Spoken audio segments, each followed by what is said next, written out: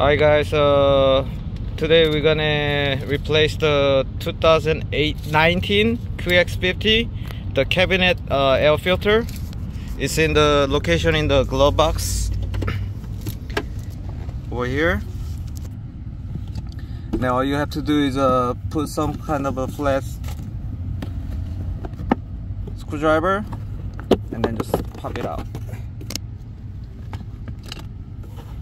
And then open the cover.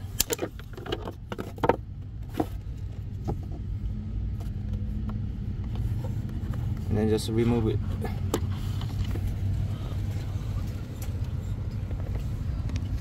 And then the one we're about to put it in is uh, STP the model number is CAF15027C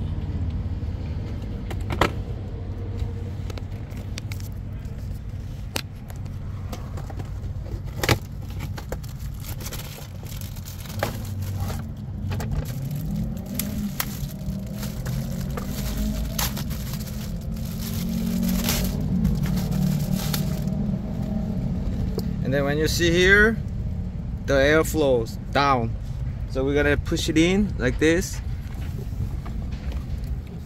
And then put the cover back in again.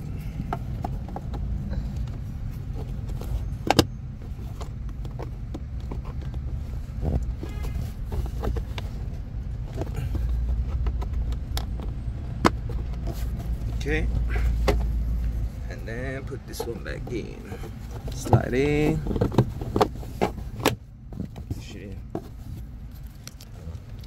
okay that's it. Thank you for watching